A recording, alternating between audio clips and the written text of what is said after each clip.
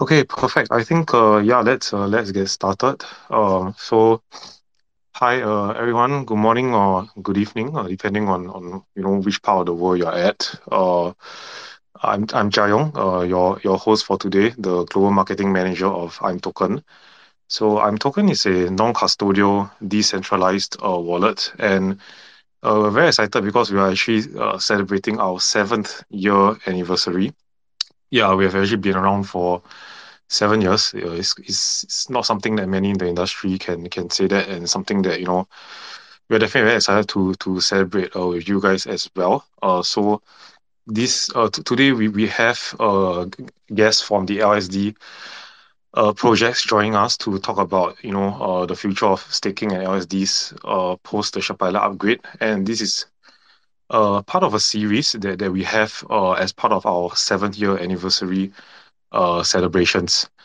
So, so before we get started, I just want to share, um, as, as part of the seven-year uh, anniversary campaign, uh, we are actually giving away a hardware wallet, a- an imKey hardware wallet.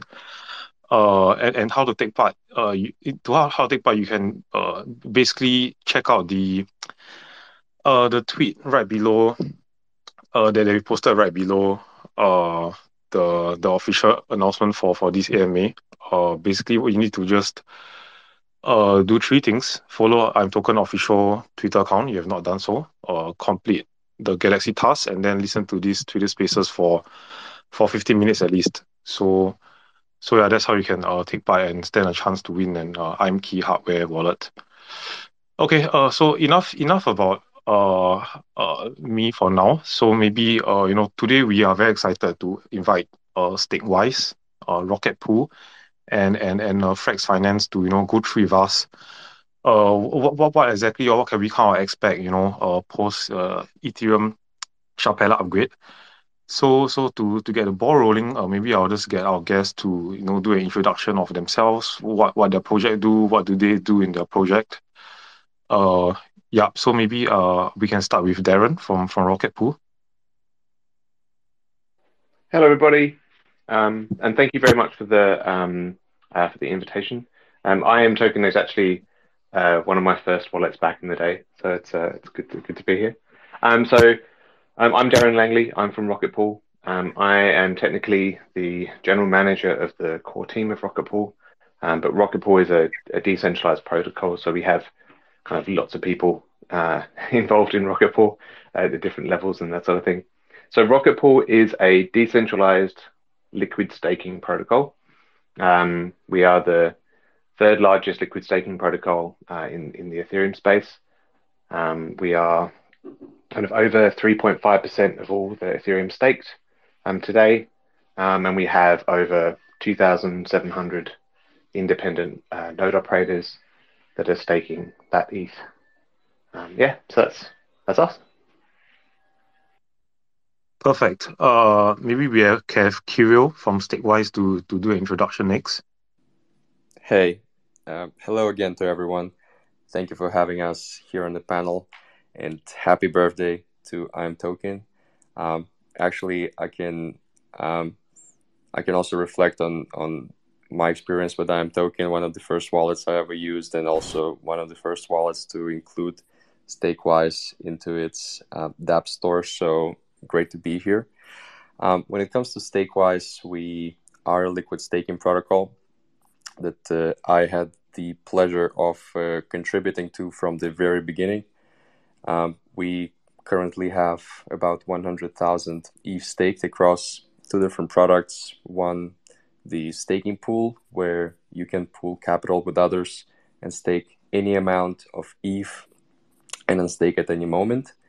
Uh, and also Stakewise Solo, which is uh, uh, something where you launch your own validators on our servers.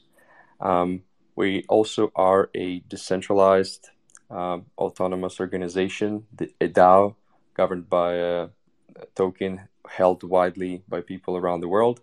And we're pushing um, the new standard of liquid staking with the upcoming product called Stakewise V3. I'm, I'm happy to talk more about it today. Thank you. Thank you. Yeah, seems like uh I, am talking is the first wallet for quite a lot of uh, people, especially in the OGs in this industry. It's definitely great to hear that. Uh, yeah, uh, Dave uh, from Frax Finance, maybe could, could you do an introduction? Hi, Dave. Can you hear? I think I'm on mute. Hey, um, hey, how's it going? Sorry, I, I lost my connection there for a bit. Um, what was the first question again? Uh, could you give an introduction of, of yourself and, and Frax Finance? Yeah. Um, hey, everyone. Uh, I'm DeFi Dave. Uh, I am the founder of Flywheel DeFi, which is a grassroots media company and also a core contributor to Frax Finance. Um, Frax Finance is a, I'd like to think of it as a decentralized stablecoin protocol. We make the most decentralized and innovative stablecoins in the space. We have our flagship product, Frax, which is a dollar peg stablecoin. And of course, we have Frax ETH, which is an ETH peg stablecoin that uses a dual token system. Uh, we can get back that into more uh, as the space goes on. Uh, we launched in October and uh, have been the fastest growing LSD by far, already the fourth largest LSD in the space. And uh, yeah, we have V2 coming soon. So awesome. Sounds great. Uh, so maybe, you know, um, maybe for those people that still don't don't really know what you guys do or, the projects or, what is the selling point of, your projects uh maybe could we kind of have an uh, I guess like elevator pitch or you know of like or, maybe a, summary of what, your project offers that is like you know different from from the others? Yeah maybe we can have Darren start the ball rolling on this question first yeah okay so I mean at a high level, uh, what makes us different? Um, we offer actually two forms of staking. So we offer both liquid staking and node staking. So liquid staking is basically the simplest way to stake your ETH today. Um, you deposit ETH, you get a liquid staking token back. Uh, that accrues value over time as you know the rewards generate on the beacon chain. Um, and then you can you can take that kind of liquid staking token and use it in DeFi protocols and and all of that sort of thing. Ours is on um, a lot of kind of lending protocols, liquidity platforms, and options protocols, and all sorts of things. Um, so that's uh, so it gives you a lot of flexibility in in how you want to use it. Um, on the node staking side of things, so this is kind of what makes uh, Rocket Pool um, somewhat special is that um, our node operators is we have a permissionless validator set. So um, as a node staker, you run a, an Ethereum node um, you bring with you uh, some sort of uh, bond, which in our case, so usually as a if you're a solo staker on um, by yourself, uh, you would need 32 ETH, but with Rocket Pool, you would just need 8 ETH plus 2.4 ETH of, of RPL as collateral or as a essentially a good behavior bond. So that's what kind of makes us special. Uh, we've got 2,700 independent node operators, and that's because we're um, permissionless. Um, anyone can be a node operator with Rocket Pool. Um, we've kind of tried to strike this. I think it's actually very, very important to strike a, a really good balance between decentralization, scale, and performance. When I say performance, I mean kind of yield. Um, if you if you kind of trade off in one direction, uh, then you, you're either not going to have a good product, uh, or you're going to undermine the health of Ethereum, um, which isn't very sustainable in the long in the long term. So we've kind of chosen this permissionless um, node operator set, um, as I said, so that anyone can be a node operator, uh, which kind of maximizes decentralization for Ethereum. Um, we've also we also choose to have a bond. Um, we've got quite a low bond in terms of eight ETH, but um, uh, lower than you would usually. Um, but that means that our node operators have skin in the game, so they you know they're they're trying to earn a good yield for themselves and for uh, liquid stakers as well. Um, and also that uh, kind of ETH and the RPL provide kind of a, an insurance um, so that um, our liquid stakers are protected um, even even against kind of quite unlikely tail risks and that sort of thing. So that's us. Awesome. I, I love how you guys, you know, try to make uh staking accessible uh, by by letting people 8 ETH and 2.4 RPL to yeah basically be able to to stake. Uh, so I guess the focus is really more on on on decentralization. Uh, so yeah, that's nice to hear. Uh, yeah. So may- maybe for for Kyo, could you uh, what we say is the I guess uh, elevator pitch of of uh, Stakewise and what may, makes you guys different? Yeah, thanks for the question. So, right now, what what sets Stakewise apart is the fact that um, our liquid staking service is powered by not one token but rather two tokens. One token is for deposits into the Stakewise pool and you know consequently into the Beacon chain, and the other token is for the rewards that flow from it. Um, before Shapella, this was uh, perhaps a superior way um, to get liquid staking tokens because of the fact that having a separate reward token allowed you to reinvest your rewards back into deposits periodically, uh, even when there was no ability to extract rewards from the validators themselves, and also handle your rewards separately. Um, in the end, it um, it produced the, the highest APR, APR out there thanks to the ability to compound. So uh, we focused on that extensively in our first stage of growth before Shapella. And now that Shapella is out, we are introducing new functionality into Stakewise uh, in order to further set ourselves apart. Uh, this functionality is the ability to mint uh, a liquid staking token no matter how you stake ETH. So effectively it, it we give people a set of tools with which they can have a liquid staking token for their solo stake for their own staking pool etc so we're trying to democratize access to liquid staking and also provide uh, various software to simplify staking um, just just the technical part of staking itself.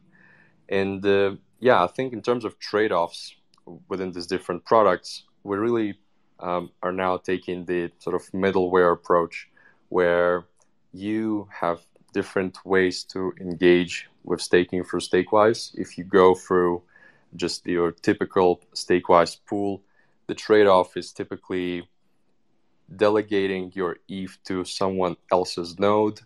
Uh, and even though you kind of have the security of uh, this token being collateralized, um, by by the people who supply it, you you still kind of are letting your ETH flow to somebody else's node, um, and and some people are not cool with that because they feel like they lose control. On the other hand, if uh, we talk about solo liquid staking that we will be powering, um, you will be in control of your stake from the beginning until end. So you run nodes, you're responsible for your own staking performance and this kind of feeds into the LST that you hold. But uh, this comes with a higher capital requirement. So, like Darren mentioned, for for Rocket Pool, for example, the capital requirement to become a solo operator is effectively 10.4 ETH. In our case, we don't lower this requirement to you know an amount lower than 32, but at the same time, we enable access to liquid staking from your own solo node, which to date was not possible. So the trade-off here is uh, more capital requirement uh, in exchange for more control over your liquid staking experience. And uh, yeah, the good part is that at least uh, when you're staking on your own, you can approach this in a variety of ways, utilizing uh, new technology like DVT, like like restaking, etc. And we're aiming to to power a new sort of generation of uh, staking pools on Ethereum with, with that model. Yeah, th- thanks for the very uh, comprehensive uh, answer. Uh, yeah, and, and I like how you know um like, like you're definitely clear of, of, of, of the trade-offs that, that are being made rather than like just mentioning that uh yeah you're like like you guys are kind of like and yeah doing doing any anything for for everyone. Uh, so yeah, I think that that's that's definitely a, a good point to raise. Uh, so last but definitely not least, uh, Dave, could you maybe give uh I guess like like the rest an elevator pitch of like Frax Finance and what may, makes you guys different? Yeah, of course.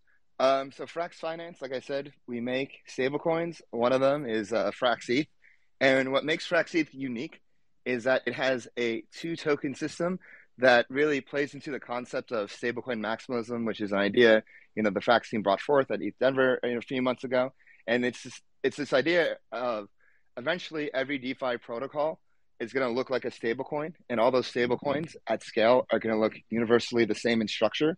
And so, taking that idea in concept, the Frax team constructed uh, Frax ETH like a stablecoin. So, like I said, there's a two token system.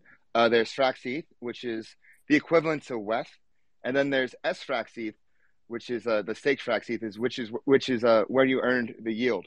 And so, you know, what's interesting about the Frax ETH system is not all, you know all even all even though all ETH, you know, may be floating around, not all ETH is staked in sFrax ETH. So there's always a boosted yield in sFrax ETH. Um, other than that, you find Frax ETH in the curve pool, um, which is uh, so the, the Frax the ETH uh, ETH curve pool. And um, what's interesting is uh, people will play between the rates, and so sometimes you know the curve pool rate is higher, sometimes the sFrax rate, sFrax ETH rate is higher, and from this we've been able to grow to over two hundred thousand uh, stake uh, Frax ETH that is actually staked. Um, and you know, I think you know it's playing itself out. Uh, we're we'll see where it goes. We're already, like I said, the fourth largest one, um, and yeah, so that's how Frax ETH works. It's pretty simple. Got it. Thanks. Thanks for sharing. Definitely, yeah, very interesting to hear about about Frax ETH and uh, yeah, the focus on stablecoins for uh for Frax Finance. Uh, yeah, okay. So I think I'll just open this question. Uh, you know, anyone wants to answer can can just can just go ahead. Uh, so, so I think you know decentralization is definitely a, very topic that that's very important for any uh project and any protocol. So, my, my question is, you know, does do you guys think uh staking uh makes ETH actually more you know ETH, Ethereum actually more centralized? You know, because like uh to have the full control, uh, like what Kiro mentioned, you have to have thirty two ETH, and and and uh, you know how how can we actually make uh, Ethereum staking more decentralized? You know, if uh, since there's the goal. So so so does anyone uh want, want to take this question first? I'm happy to take that. Uh, Kirill here from Stakewise. So I think our thesis, and you know, mine personally, is that liquid staking protocols, um, just broadly as a market segment, have been a pretty significant driver of centralization on Ethereum. And this is due to the, let's say, advantages that they offer over the just vanilla staking. These advantages are, of course, the ability to stake any amount of ETH and not just in pops of 32. It's the ability to use this staked ETH for uh, yield enhancement in DeFi, either through leverage or through farming opportunities. And it's the ability to get your ETH back from staking at any time through a liquid um, through a liquidity pool. So these advantages uh, speak to many people because of the hurdles uh, in staking. This is the technical requirements. So running your uh, machine 24/7 to ensure that your node is up and running. It's the capital requirement again, and it's the inability until recently to get your staked ETH back, get your ETH back from staking at any moment in time.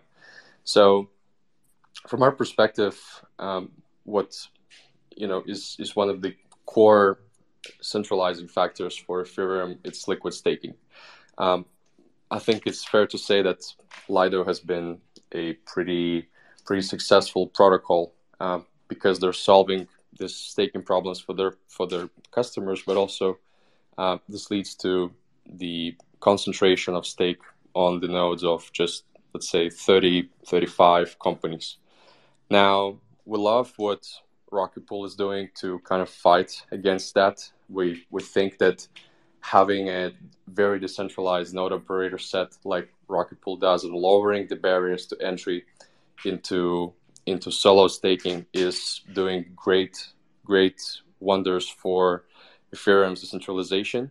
But we also think that until the access to liquid staking is is uh, democratized, if you want to call it that, um, we will continue having this this issue of stake flowing to the same operators over and over again, whether this be into you know Coinbase, CB or or Lido. And so, from that perspective, we think that an LST, in order to access the benefits of liquid staking, should be able to be minted by by anyone who, who stakes ETH, and also staking should be offered by more operators um, without necessarily requiring them to post some some governance token as a bond or post any collateral at all. And so we're pushing for this sort of marketplace approach where stakers are free to choose among the different operators who are free to join the marketplace. It's kind of a, you know, um, both sides, bringing both sides of the of the market into one place, stake-wise, V3, and allowing people to create pools to receive capital from others. Um, again, stake any amount, unstake at any moment, and give the ability to access uh, DeFi with a liquid staking token uh, from any pool. Uh, you know, having the same token to have composable liquidity across this whole marketplace. And uh, yeah, our thesis is that ultimately it's the access to liquid staking that's that's broad and inclusive and doesn't require people going through the same providers all over again is that some is something that will help Ethereum remain decentralized. But uh, yeah, I'm, I'm, wondering what's Darren's and Dave's take on this. Yeah, I I, I totally agree. Um, I totally agree with you. Uh, liquid staking is definitely a a centralization vector uh, or potential a potential um, centralization vector. It's kind of played out uh, in that in that way. Um, I, I, do see it changing, uh, which is very nice to see and very uh, very hopeful. Um, I mean, from from like the solutions uh, to that problem, uh, we've always kind of thought, well, okay, so liquid staking, dem- you know, it, it democrat- naturally democratizes staking, um, but it's the node operator side that's really important, and that's the, the work that you, are doing as well. Um, in terms of, you know, we, we think that lowering the barrier to entry for node operate, uh, you know, operators, and that is that's not just like the capital requirement, um, although that is a, that is a, a major one, um, but it's also you know lowering the, the, the technical ability that you need to as well. Um, so we've developed lots of tools around um, you know, staking to make it easier and, and, more streamlined. Loads of documentation and education. We have a massive community that has onboarded hundreds and hundreds of new node operators from zero to nothing.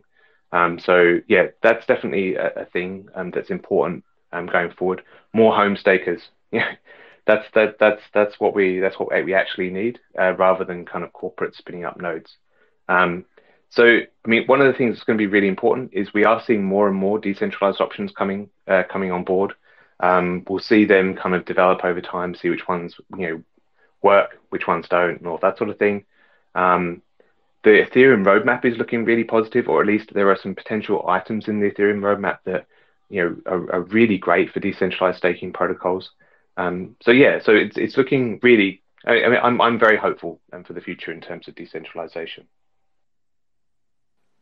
Yeah, I agree with pretty much everyone's points here.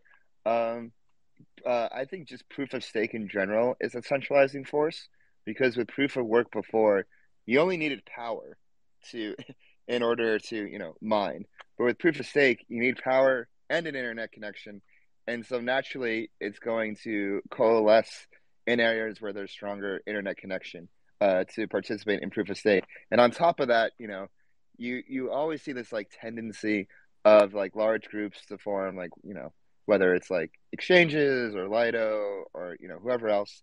And so I think uh, the Ethereum community has done a good job of being very aware of these centralizing forces, and they've been doing a very good job of like, okay, like what can we do about it? And so I agree, like, um, you know, having you know marketplaces for node operators, uh, giving like the node operators the ability to choose, you know, where they want to stake, making it easier for node operators to stake, you know, creating this culture of, of oh, let's stake at home, um, like, you know, run your own node at home. And so, you know, I'm pretty optimistic about the future um, as long as we're, you know, still cognizant of, you know, the risk that involves centralization. Yeah, thanks, guys. Really, really great, great discussion, and yeah, I really love the points that you guys have have uh, raised about about you know decentralization and and how uh Ethereum's taking a centralization force. Um, maybe just just for me to add one more point on this. Uh, so so imToken. Uh, as I mentioned, you know, we are a, a non-custodial decentralized wallet, and and one of our our goals, uh, actually, we do have three goals, uh, for as a company. So, firstly, is uh to increase the number of people who trade on on on on our on our wallet, uh, via Tokenlon, uh, which is a DEX in the imToken wallet. Uh, secondly, is to you know, of course, to onboard, uh, to get more people to uh, hold more of their assets under our wallet. Uh, and then third is, is actually to actually get more people to stake on the imToken wallet. So, so just to give you guys a bit of preview, uh, we are actually uh looking to introduce a staking as a service uh, function and app. I mean, a function within the app uh, for people with 32 ETH to you know uh, easily stake. So so yeah, just to give a bit of preview about about a new feature that that we are going to be launching soon regarding that.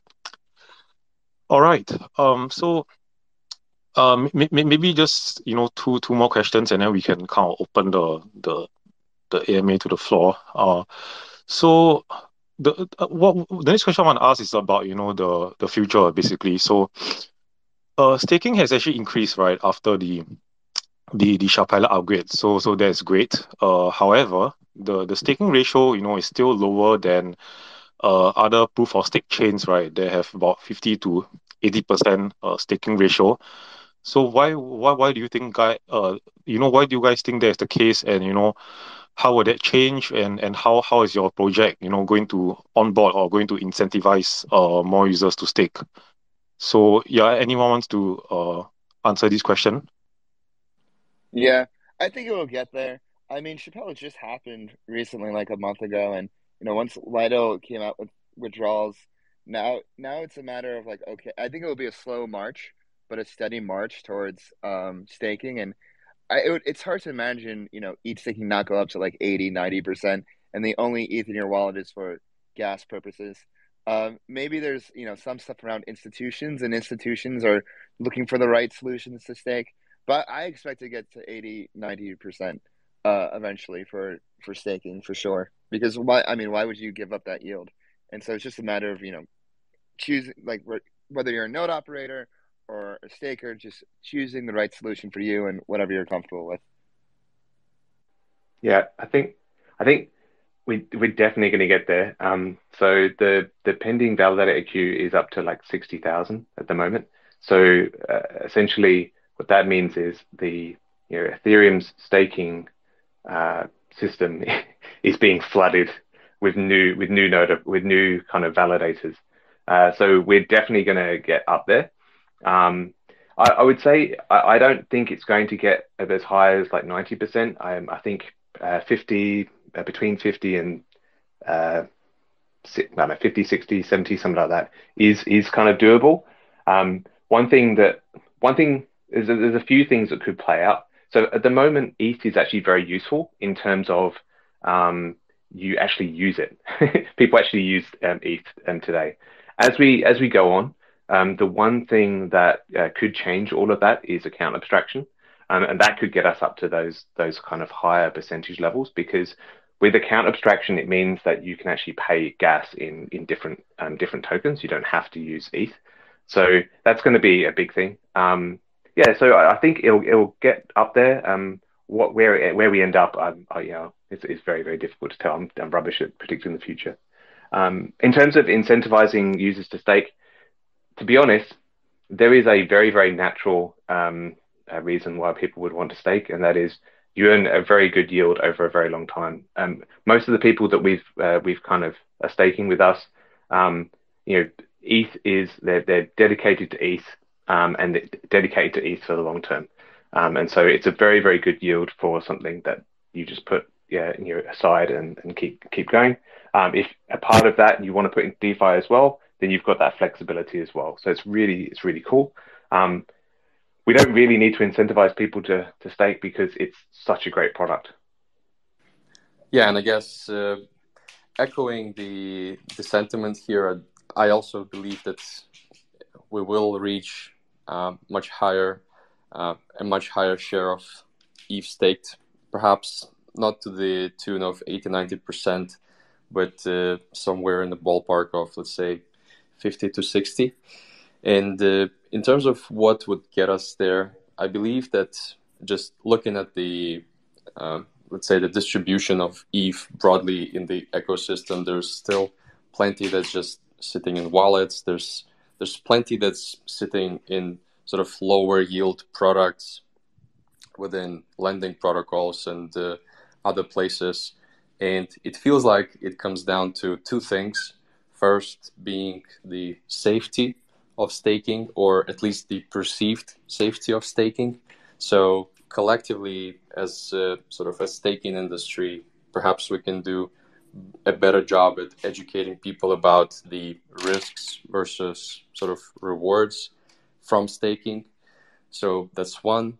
Um, secondly, I also think that um, on the let's say um, safety spectrum, we should we should probably aim to be sort of more resilient. So build more infrastructure like uh, distributed validators, um, like um, more more more clients for um, accessing the beacon chain just to make sure that people have more options and are a little less concerned about you know the potential losses of their principal within staking uh, because most of the time uh, what people like the reason why people hold on to their ETH and don't really put it into different places is because this is you know their favorite um, favorite asset in the world probably and they want to hold on to it and you know they're very afraid of losing it so as long as we keep sort of uh, changing the narrative around, rather, not, not changing the narrative, perhaps keep pushing the narrative that, that staking is a safe option.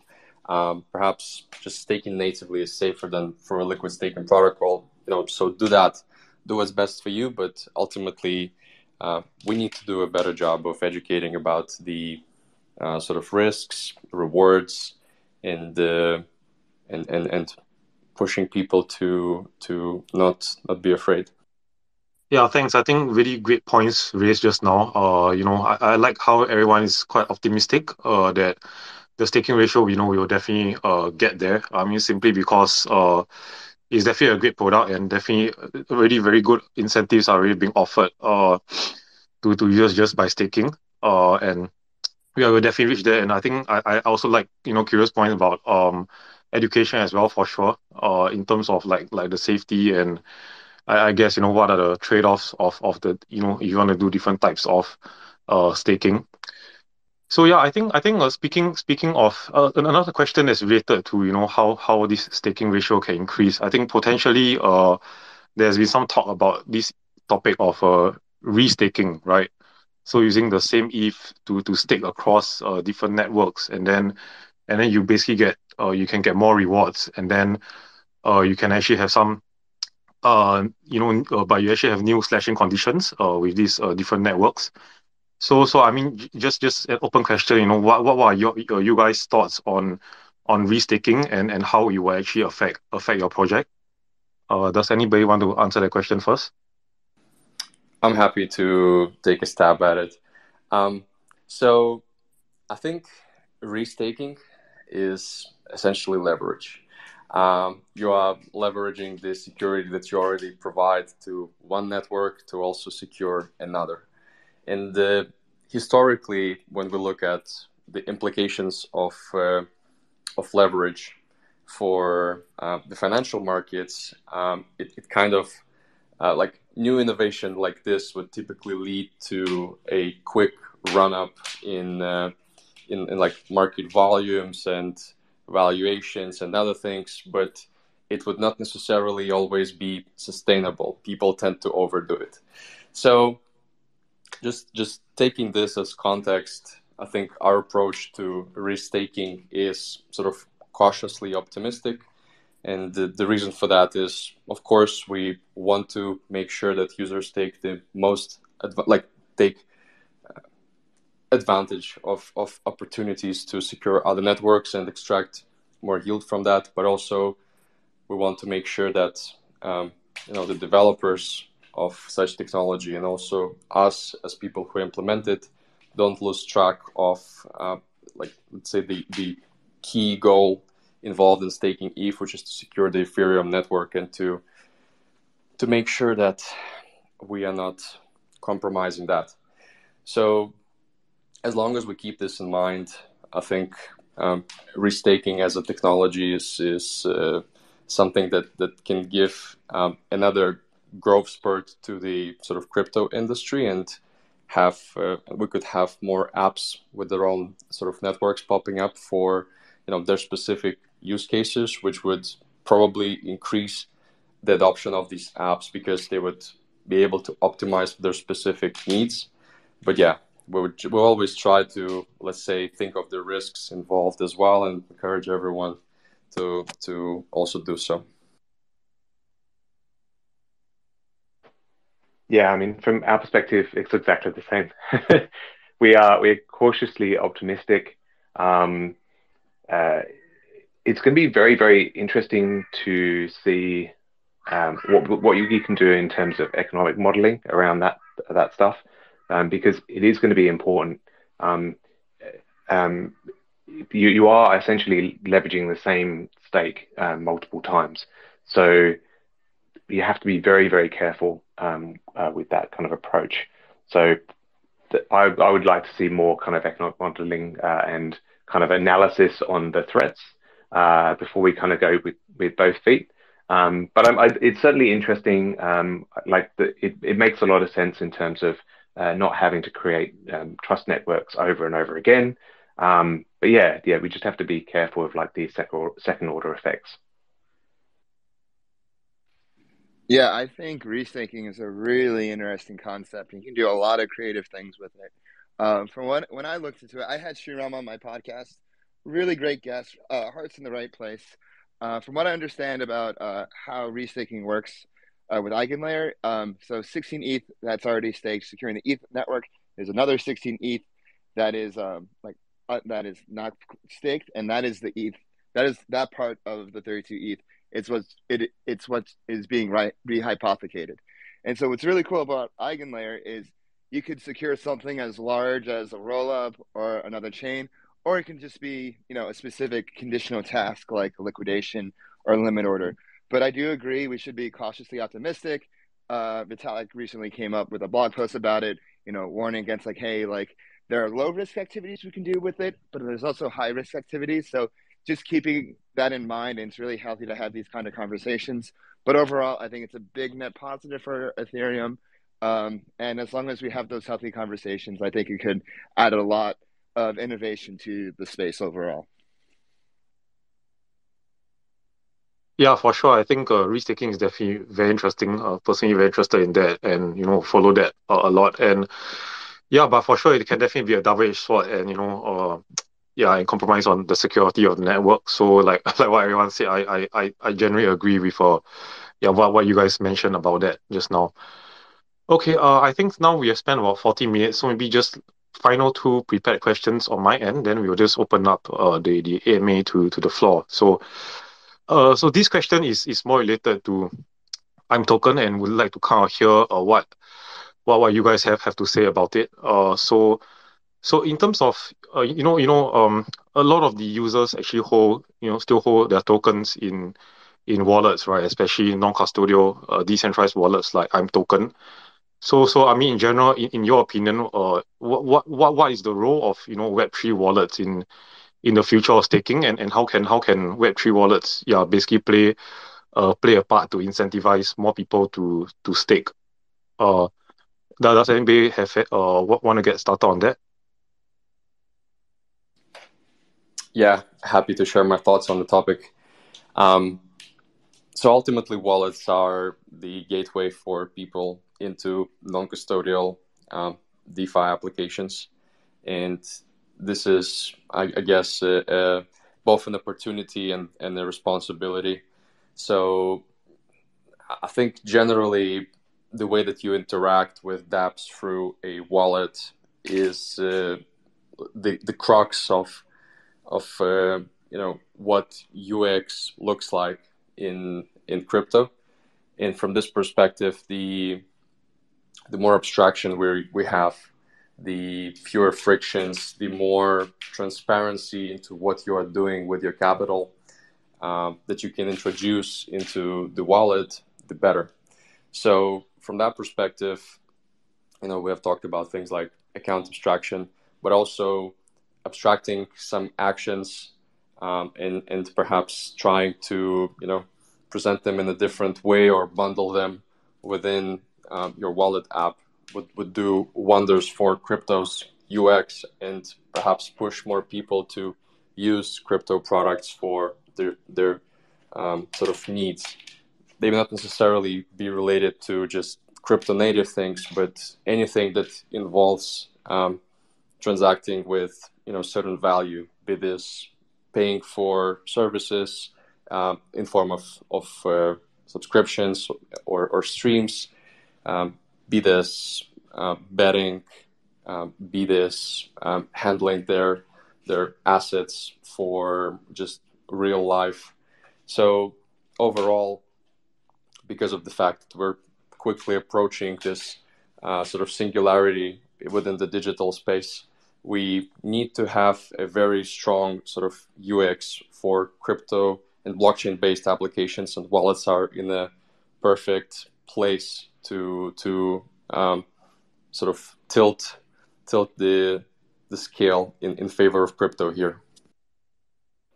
Yeah, um, so I, I, totally agree there. Um, wallets are a primary interface. Uh, they have a, a major opportunity to make staking super easy, seamless, um, and uh, as Kerry said, um, uh, to have that kind of transparency and education, you know, ed- educating um, uh, educating users on on these uh, on you know what is a decentralized protocol? Why should you why should you go?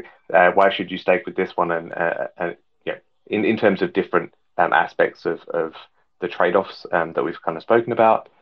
Um, liquid staking tokens are fast becoming like a, a core primitive within the um, kind of crypto space.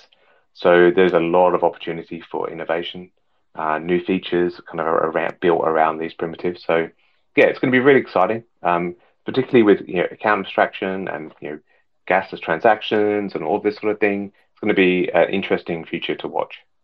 Yeah, I agree. I think wallets play an essential role into onboarding people into staking and Web3.